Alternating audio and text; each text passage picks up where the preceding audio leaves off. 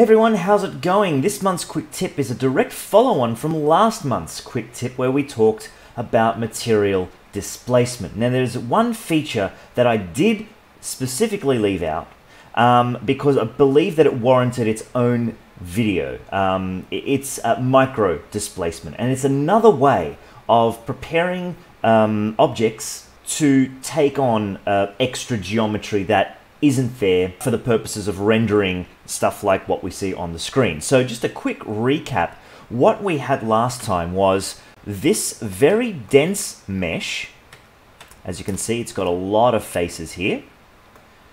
Um, and this not so dense mesh that you can see here and how the differences between having a very dense mesh and not so dense mesh uh, creates differences in displacement. Now, the material that we'd set up was just simply a diffuse shader um, and a brick texture run through this displacement node.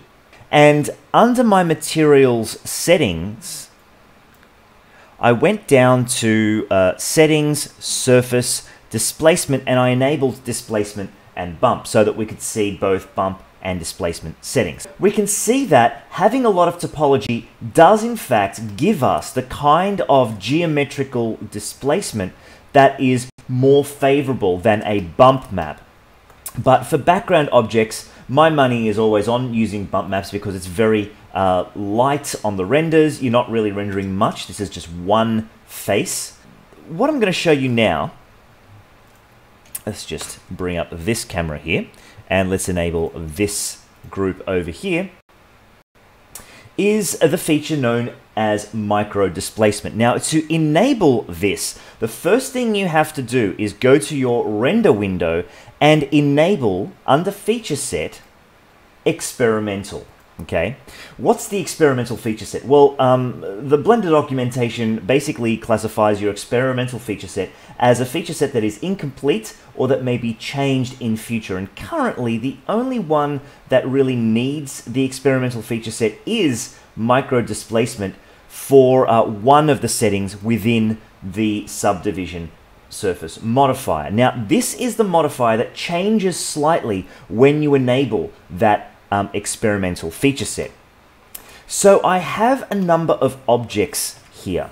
Two planes, a cylinder, and a monkey head.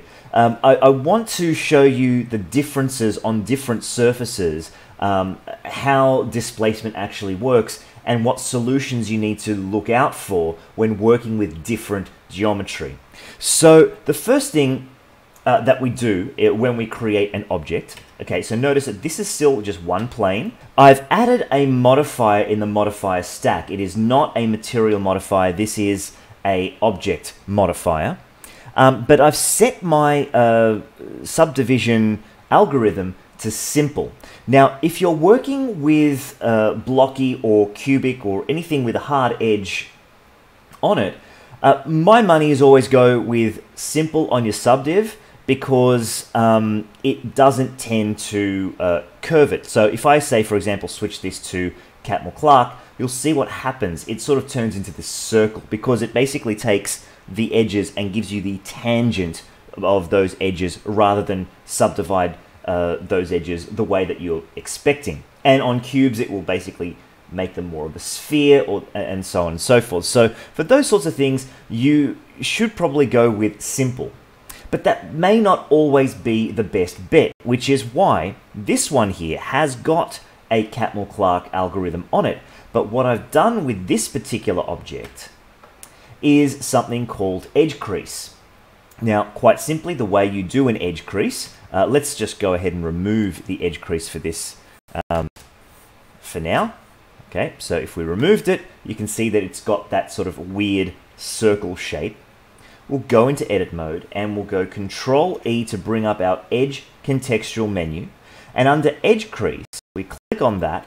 And as we drag uh, across the screen, we get more and more of an edge crease until we get to 0.1. Now, what I like to do is just type in 0.99 um, for my edge crease. And let's just, let's just let Blender catch up for that. And all it does is it sort of say, okay, you may be using a subdiv surface, but what we want you to do is treat these edges as hard edges, right? Uh, that's what I've done here on this cylinder as well. So you'll see these pink lines. Um, the updating is shocking because, okay, let's, let's just go into um, look development mode just so that we can work for a moment. But okay, so you see that I've actually done these edge creases. They show up pink here on the outer edges. Uh, but this cylinder also has a couple of other modifiers. It's got a solidify on it, uh, as well as uh, an edge split, and then I've applied the subdivision surface. So I'll just go back into rendered view.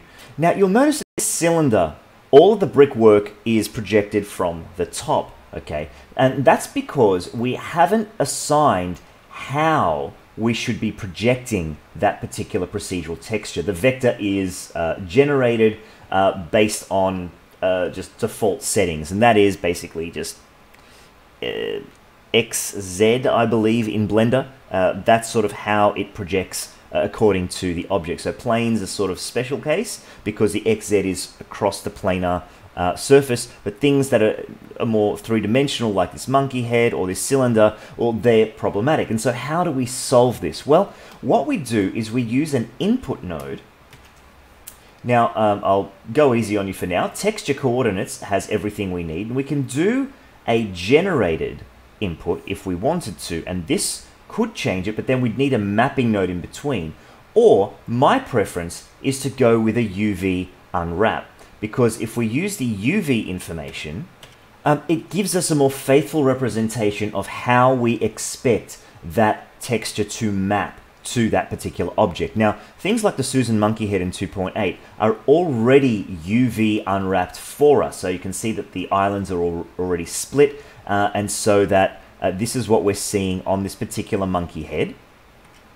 And this cylinder, I've gone ahead and UV unwrapped so that it is, you know, uh, occupying this cube space so that our X and uh, Z or UV coordinates, as it were, map on correctly for that particular object.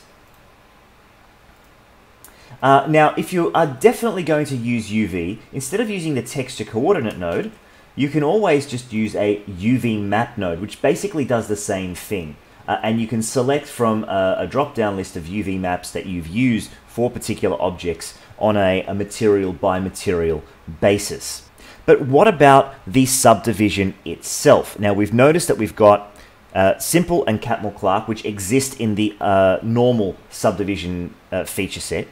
But when we enable experimental, we get a couple of other things. We get this adaptive um, option, as well as our viewport and so the viewport is basically how uh, faithful a representation we get in our 3D viewport. And you can notice as I'm talking, uh, Blender really is chugging along to try to keep up with this and try to render um, on the fly what we want to see.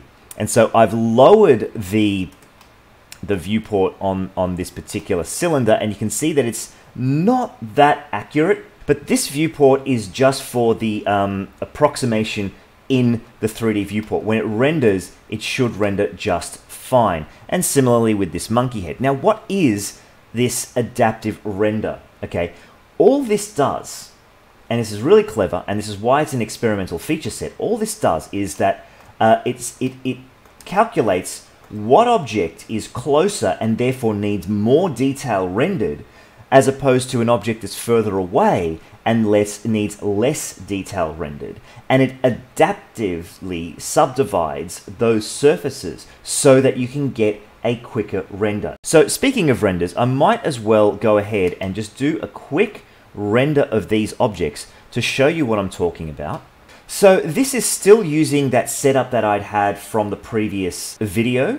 The total image looks more like this and you can already see that everything here is displaced. That cylinder is looking great. I mean, look at those bricks just sort of popping in and out of there. Um, you know, the bricks going in and out over here. And all the other objects as well, they also have that sort of uh, really awesome looking stuff. Now, before you ask about freestyle, yeah, uh, freestyle does not seem to render uh, those displacements just like you would with a high-res mesh uh, with a displacement uh, material on it. Um, and so, yeah, unfortunately, this is something that you need to find a different solution uh, for background objects. Thankfully, your shadow pass looks really, really good on displacement materials, and so that's where you sort of want to get your inking, as it were, for background objects. But keep in mind, background objects in comics, they're the types of things that you want to sort of have um, behind like a, a, a thick mist of atmospheric effects. And so those things should have inking lines that are barely perceptible in the first place. So uh, a freestyle pass wouldn't really cut it for things that are far away or the types of things that we're using these methods for. And so that's my quick tip for this month, all about the uh, micro displacement feature within Blender. It is a cycles only feature set, so this is not for Eevee. You need to enable your cycles render engine before you can enable your experimental feature set and add your subdivision modifier on your ob object uh, modifier stack. As always, this uh, blend file is available via a link in the notes below this video, uh, free for you to download and take a look at at the demo file, complete with this material, these objects, uh, and set up to use micro displacement within Blender 2.80 beta. Okay, thanks guys for watching. Bye for now.